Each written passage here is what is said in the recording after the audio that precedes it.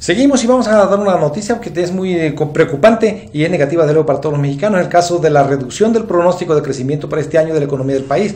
Estaba previsto que creciera entre 2.5 y, y, 3 y 5 y la verdad es que ya el Banco de México lo redujo de entre 2 y 3, o sea, no se alcanza la máxima y pueda que quede más abajo todavía de la mínima que habían previsto, por una parte. Pero desde ahora también estamos hablando ya de la reducción del 2017. Habían previsto 3.4 y ahora dice cuando mucho será 2.5 al 3. O sea, lo que iba a ser lo, mínimo para 2017 será lo máximo cuando mucho. Una situación de verdad que a la población no le, no le impacta ese tipo de información cuando sale, pero es grave porque tiene que ver con las condiciones de vida de, del país y de vida de la gente, de empleo, de de derrama, de impuesto, de todo eso. Sí, porque son cifras que muchas veces la gente ve técnicas y que a veces ni siquiera entiende, pero que como lo hemos mencionado aquí, detrás de esos números, detrás de esas cifras hay una realidad preocupante, porque todo eso nos está impactando en nuestra vida diaria. Nos impacta en el hecho de que si no hay crecimiento, pues no, es que quiere decir que el país no va a estar caminando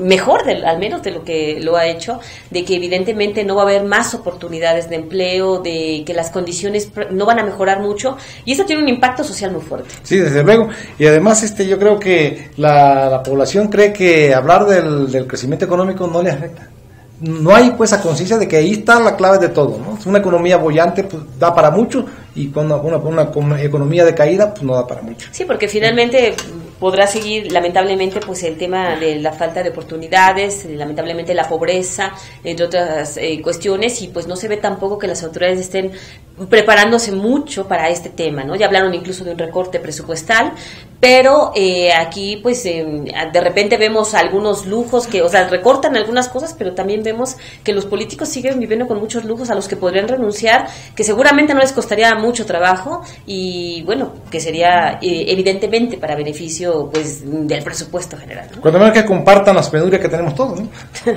Así.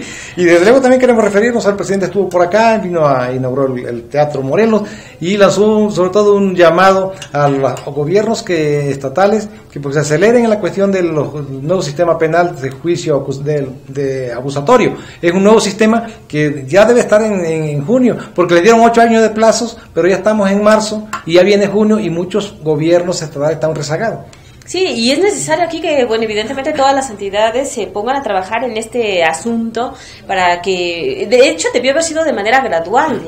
Así fue, al menos aquí en el Estado de México, el Poder Judicial eh, estableció muy bien por diferentes distritos cómo iba a ir entrando este sistema, que de hecho también ahí hay críticas de que, bueno, sí lo metieron, pero les falta personal y les falta equipo. Imagínense, si el Estado de México, que estaba medio preparado, hay entidades que no han hecho prácticamente nada y esto es obligatorio. Es decir, y si no lo hicieron en, ocho años, pues difícilmente lo van a hacer ahora, en, entra en junio, estamos en marzo, abril, mayo, junio, como dos meses y medio, difícilmente, ¿no? Entonces, pero hay un descuido, ahí, ahí demuestra la, la, falta de interés de las autoridades estatales por de verdad este, mejorar la justicia, ¿no? Sí, o sea, que sigan trabajando y seguramente porque, bueno, el, el, hecho de que no lo estén, que no se estén cumpliendo con estos plazos quiere decir que están trabajando con el viejo sistema, que no han cambiado prácticamente nada también. Así, y es lamentable y preocupante, porque finalmente esto le está pegando a la gente. Oye, y las opiniones de los presuntos aspirantes a la candidatura del PRI para gobernador, tú conoces. Ah, bueno, sí, evidentemente hubo, es que es una pregunta constante que se les está haciendo porque ya viene la asociación gubernamental pese a lo que digan. E incluso en la oposición se ha dicho que ya está, que la carrera ya inició.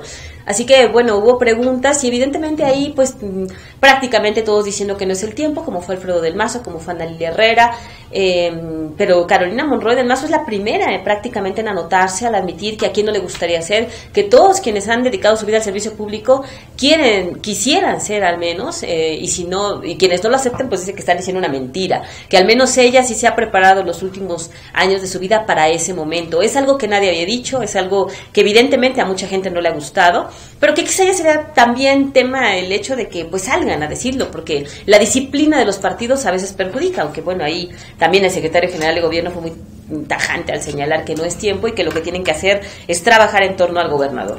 Yo creo que, que la cuestión de que no es tiempo, pues quién sabe quién, quién determina cuándo es tiempo, ¿no? Yo creo su partido. Carlos Iriarte dijo que lo va a determinar la dirigencia nacional. Eh, yo creo que este, pero sí es, bueno que se, que se que se diga y que se, quien quiera pues que lo diga para que esté en el escrutinio de la gente si es bueno, si es malo, hombre o mujer, según el caso, ¿no? Pero además también hay una cuestión que ella dijo que me parece que tiene mucha lógica. Dice, ¿a quién no le gustaría ser gobernador del Estado de México o gobernadora? ¿no? Es indiscutiblemente, pues, ¿quién puede decir? A mí no, de los políticos que andan en eso, ¿no? Y quienes, exacto, quienes se dedican a eso y dicen que no, pues están diciendo una mentira. La verdad es que Carolina Monroy no dijo ninguna mentira, ¿eh? ¿eh? Quizá a muchos no les gustó porque seguramente lo vieron como adelantarse a los tiempos, sobre todo si vamos al discurso de octubre del año pasado donde el gobernador en el PRI ante toda la clase política les dijo que quien se moviera no salía en la foto. Vamos a ver qué pasa con Carolina Monroy. que, además no es cualquier cosa, ella es la secretaria general, de la segunda al mando del PRI nacional. Y, a, ver también hasta qué punto le van a, obedecer y le van a hacer caso al gobernador. ¿no? Había que ver. Y lamentable también lo de la, este pleito que trae el gobierno Estado con la Comisión Interamericana de Derechos Humanos, donde habla ella de, de la impunidad, de lo que hemos hablado aquí precisamente, pero ella se refiere exclusivamente, incluso es más generosa, porque se refiere nada más a la impunidad de los delitos que se denuncian. Ellos no están hablando de los delitos que no se denuncian, que eso es lo más grave y la comisión no se pronuncia sobre eso. Sí, que es un tema, digo, que está pendiente, que hay mucho que trabajar en este asunto, evidentemente, pero también es, es importante resaltar que advierte que hay mucha tortura todavía, que nosotros hemos mencionado, y que es increíble, debería, estar, debería ser una obligación que todos los estados la tuvieran tipificado como un delito grave. ¿eh? Y que aplicaran además las leyes con rigor que medita, porque... Y lo decimos por el Estado de México, por supuesto, y por el caso Tlatlaya, que es el principal ejemplo. Definitivamente, entonces este, está, está grave eso.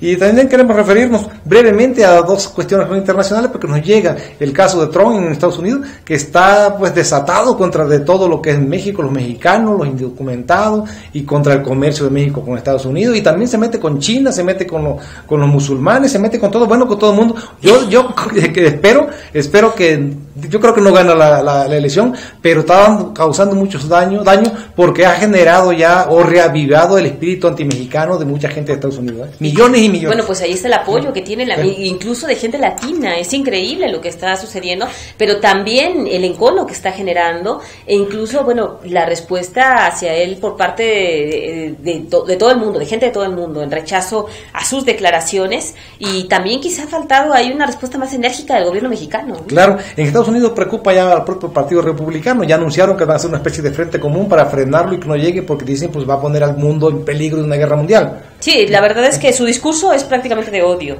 solamente. Sí. Y brevísimo, lo de Luna, un presidente poderosísimo de una de las economías más, más grandes del mundo, aunque ahora esté, que esté en, declive, pero de todo modo que sea presidente, expresidente y que lo llamen a citar, que lo vayan a traer a su casa preso, habla de lo, la fortaleza de las instituciones de, Brasil, más allá de, de, lo que haya si es culpable o inocente.